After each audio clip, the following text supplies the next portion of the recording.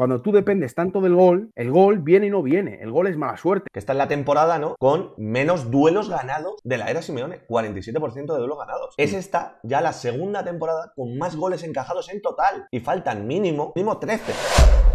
Vamos directamente al planteamiento del Cholo Simeone ayer. Que por cierto, yo ayer al descanso, la lectura que yo saco y lo que más me preocupaba de todo es. Me parece que han salido como tenían que salir. Me parece que los primeros 15 minutos fueron Vamos, solo le faltó el gol, ¿no? Le faltó a lo mejor pues un acierto mayor de Nahuel centrando, la de Samuel Lino tener un poquito más de chispa, la de Correa que abre a Lino, y bueno, lo de. Uy, que abre a Nahuel, perdón, que luego fatal, te lo he pasado hace poco, justo que lo veía en un clip de Twitter de la pizarra del Chingurri que estuvo ayer con nosotros. Lo que te decía, el planteamiento es bueno, la actitud parecía buena, y aún así te vas 2-0 al descanso. Pero por lo es que, es he dicho, terrible, porque es terrible. No sabes defender. Porque no se han. Terrible, por eso te digo. Dos remates a puerta del, del Bilbao al descanso y 2-0. Es que es tan sencillo como eso. Rematar a puerta. Este Atlético de Madrid, yo lo estaba pensando antes. Yo lo comparo con un boxeador que sale, no para de lanzar ganchos, a di- diestro y siniestro, empieza a lanzar, a lanzar, a lanzar. Pero ¿qué pasa? Que cuando no paras de lanzar porque no sabes hacer otra cosa, no sabes defenderte, ¿no? Eso. Pues cuando lanzas, te desproteges. Y en cuanto vas uno que vas un poquito en falso, en cuanto te meten aquí en la mandibulita esta de cristal que tenemos, pues vas directo a la lona. Pero directo, directo y directo. Suena la campanita en cuanto tu oponente mete el primer gancho. Y ese es el Atlético de Madrid actualmente. Un equipo con mandíbula de cristal y que encima no se sabe defender. ¿Qué, qué- qué vida tiene eso? ¿Qué- ¿Cuántos, cuántos eh, asaltos aguanta ese equipo? Pues cero. En el primero, a la lona. Besando el, el pabellón estábamos en, en Bilbao. Ayer, en cuanto remató la boleita, la boleita de Iñaki Williams, que luego vamos un poquito a eso, luego vamos un poquito a eso, porque yo creo que va a haber que hablar ya de ciertos temas que, bueno, luego, luego vamos con ello. Pero, Marco, planteamiento. A mí, por ejemplo, lo de jugar con Llorente, que yo creo que le puso en, en el interior izquierdo como para frenar un poquito las recepciones de Sancet, ¿no? Que siempre tiende a ir un poquito hacia ese lado, y también para tapar un poco, imagino, a lo mejor, o para ayudar a Samuel Lino, ¿no? Dar un poquito más de vía libre a Samuel Lino, ¿no? Porque entendemos que por la derecha el Atleti no va a tener tanta profundidad y ayudar un poquito ahí. A mí, sinceramente, Llorente no me disgustó. Fue seguramente uno junto a Samuel Lino, Rorro, de los pocos que salvo, pero es que a pierna cambiada ahí, no sé. Luego lo de Correa, no, no- no sé si tienes algo salvable del 11. Eh, querer defender las bandas de- del Athletic Club con Mario Hermoso y Xavi todo el rato uno para uno. Es que era la crónica de una muerte anunciada. Sí, a ver, es que no. Es que veo el, el 11 y dices tú, es que está lleno de, de inútiles. Es que de verdad es, es un equipo que no. Me refiero que es que eh, no nos puede pillar por sorpresa. O Black ya lleva mucho tiempo sin hacer milagros. O lleva haciendo partidos donde. Y varias temporadas, ¿eh? Incluso hay varias temporadas donde no hay. Donde no está muy certero. Tiene buenos momentos o lo que sea pero no siempre está del todo certero. Savic hace un mes estaba en Arabia haciendo el ridículo prácticamente. Nahuel Molina lleva toda temporada Y ahora ha renovado. un buen partido. Y ahora ha Bitzel, renovado. ¿no? Exacto, Bitzel, pues, pues el chico, la verdad es que es serio, es, un- es buen estudiante, pero bueno, no deja de ser eh, que él solo bastante hace. Eh, Hermoso, Marco, pues, te, lo dije, te lo dije en un directo hace no sé cuánto y me sigo reafirmando que lo de Bitzel es tan sencillo como lo de aquel que decía que en el país de los ciegos el tuerto es el rey. Exacto. Sí, podría ser. Es que Podría ser, pero bueno, yo qué sé, no es el culpable y bastante creo que está haciendo buena temporada y creo que está haciendo lo mejor.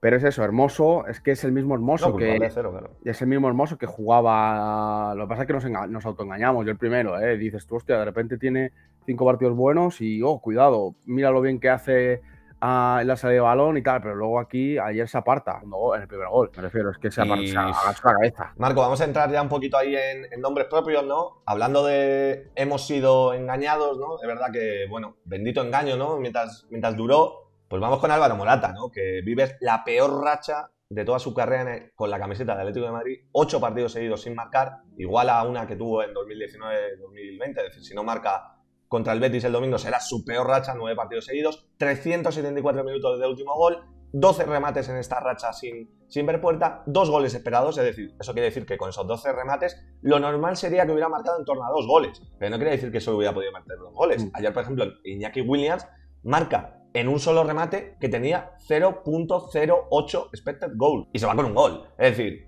esto te dice que debería haber marcado dos goles, pero podría haber marcado más. De hecho, tiene cuatro ocasiones claras falladas.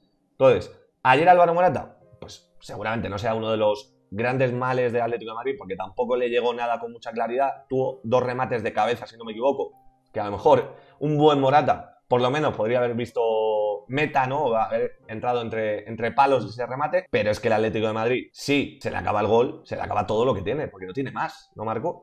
A ver, es que ese es el problema, que el Atleti todos los jugadores y todos los equipos tienen jugadores que tienen malas rachas. Se ha visto con, Lewandowski, se ha visto con Vinicius, Rodrigo, te digo, equipos de, rivales directos nuestros, ¿no? En Atleti también puedes tener esta mala racha con, con, Morata, pero claro, el resto tiene que sumar. Ese es el problema. Yo creo que Morata no está haciendo mala temporada. Es evidente que Morata, creo que lo ha dicho alguien por aquí, lo de Morata ya sabía. Morata está siendo Morata. Me refiero que es que tampoco, no sé, no creo que sea el mayor de los culpables de, del Atleti. No, no, ni mucho menos. Yo creo que el problema es lo que sea el tópico que se dice mucho, ¿no? De un buen ataque gana partidos, una gran defensa gana campeonatos. Pues es que ese es el resumen. Un buen ataque como es el de, el de Morata contra el Real Madrid, te sirve para eliminar al Real Madrid, pero una mala defensa eh, te elimina de la competición a largo plazo. Ya está, es tarde o temprano, ya está. Es que no. Y luego ayer, Marco, que dices. Estoy demasiado quemado con la defensa, es que no puedo. Claro, dices ayer, bueno,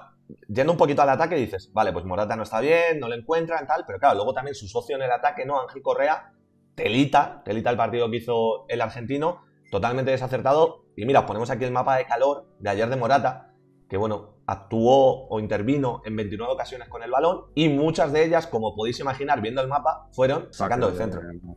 Sacando de centro, ¿no? Este mapa, no sé si recordáis un mapa en, en China, ¿no? De Carrasco, ¿no? Hace hace tiempo que se hizo viral, ¿no? Porque solo tocaba el balón y los saques de centro. Cuando perdió su equipo, creo que fue 8-0 o algo así, una, goleada terrible. Pues lo de Morata ayer fue un poco más de lo mismo, ¿no? Un jugador que interviene situaciones muy lejanas al área, que lo que le llega no es claro, que no es autosuficiente, que cuando tiene la flechita para abajo no es capaz de girar por completo su, su rumbo actual y dar, eh, digamos, la cara por el equipo, porque en cuanto se le apagan las luces, cuando se le bajan las persianas, yo creo que nos quedamos sin nueve. Y ese es el resumen, ¿no? En cuanto a Morata se le ha apagado un poquito la iluminación y Griezmann se ha lesionado, pues... Claro, es que no es, un delantero salvador, me refiero. No, es no es de la nada te va a meter un gol, no es. No es un homorodión de estos que se puede fabricar una ocasión. Ya no te digo fabricar un gol, pero al menos fabricar una ocasión. Homorodión se fabrica ocasiones con su desmarque, con su velocidad. que por cierto, ayer estuvo en la pizarra de Quintana, ya hablaremos de esto seguramente la semana que viene,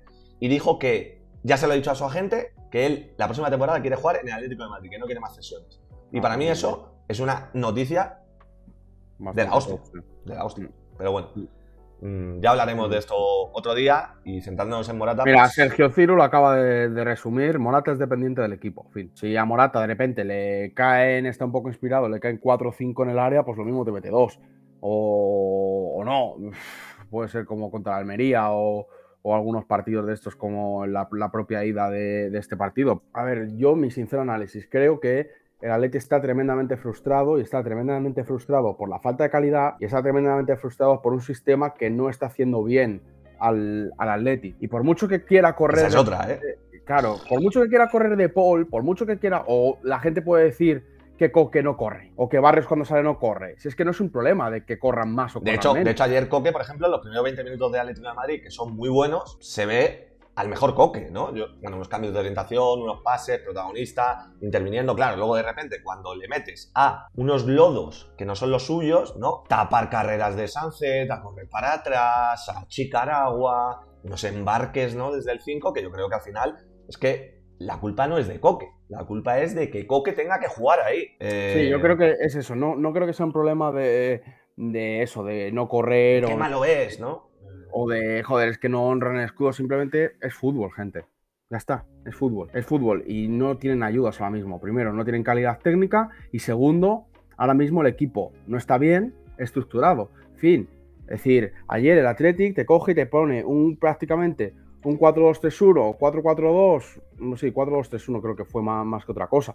Y te planta en una línea defensiva y te dice, vas a llegar hasta aquí. Y ayer el Atleti le dice a, al Athletic Club llega hasta donde tú quieras. Y cuando donde tú quieras es el área. Y en el área es donde nosotros tenemos los grandes problemas. En fin, por lo tanto, es un problema grave de, estructura de cómo está colocado el Atleti.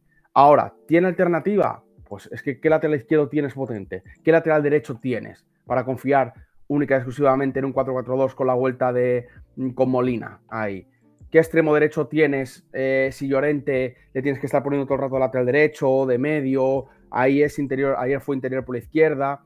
Me refiero, es que eh, es un problema bastante gordo porque es como la manta, ¿no? De, te tapa la, la, cabeza pero te deja los pies. pero ¿sabes, cuál es, ¿sabes, cuál es, el problema, Marco? El problema ahora mismo es que nos hemos quedado sin manta, que nos, nos la han robado. Porque antes te tapaba la cabeza, pero es que no te tapa ni los pies ni la cabeza. Claro, pero porque cuando tú eres dependiente. Ya, pero es que cuando tú no tienes eh, un sistema defensivo serio y cuando tú no tienes calidad defensiva y cuando los que te hacían milagros antes ahora no te los hacen, tú dependes única y exclusivamente de meter más goles que el rival, pero muchos más goles que el rival. En el sentido de acabar los partidos metiendo cuatro, insisto. El Atleti le mete tres al Girona y no gana. Le mete dos a Almería y no gana. Getafe. Le mete al Getafe. Bueno, el Getafe es cierto que está con uno menos. Bueno, pero este partido, Pero es a lo que voy. En el sentido de cuando tú dependes tanto del gol, el gol viene y no viene. El gol es mala suerte. Es de repente eh, en la ida, el Atleti de Madrid merece meter dos o tres goles y la saca uno bajo la línea y hay un penalti a Morata que no es penalti por un fuera de juego de un milímetro. Cuando tú lo fías todo, como le está pasando al Girona, el Girona lo fía todo, lo fía todo al ataque, porque su defensa da pena, su defensa. En el momento en que sus goles deja de meter 3-4 goles por partido, sabes que le van a meter dos goles a Atleti digo al Girona. Pues Atleti es igual. Te voy, a, te voy a poner justo, lo tenía por aquí guardadito, pero te lo pongo ya, ¿no? Bueno, es que a mí es un dato que me pone los pelos de punta, pero para mal, ¿no? De las, creo que son ya 10, ¿no? Temporadas, bueno, desde 2012, ¿no? Es esta ya la segunda temporada con más goles encajados en total. Y faltan mínimo, mínimo, Dios quiera que haya más partidos, pero mínimo 13. Inter más 12 de liga. 47 goles en total ya encajados. Hemos encajado ya más goles que en toda la temporada pasada, que fue un horror defensivamente. Y la 20 y la 21-22 fue un horror también, pero ya elevado a no sé qué potencia y estamos a 10 golitos, a 10 golitos. Que vamos, muy mal se le tendría que dar a los rivales para no superarla. Es que es muy fuerte, es que acabamos de empezar el mes de marzo y es ya la temporada con más goles encajados de la era Simeone, salvo la 21-22. Y es que eso, es que el problema que yo no le veo tampoco una solución, de verdad. claro, y, por seguir haciendo un poquito aquí la radiografía, ¿no? el análisis, ¿no? Más de lo mismo, ¿no? Dices, goles encajados pues uno de los porqués, que está en la temporada, ¿no? Con eh, menos duelos ganados de la era Simeone. 47% de duelos ganados.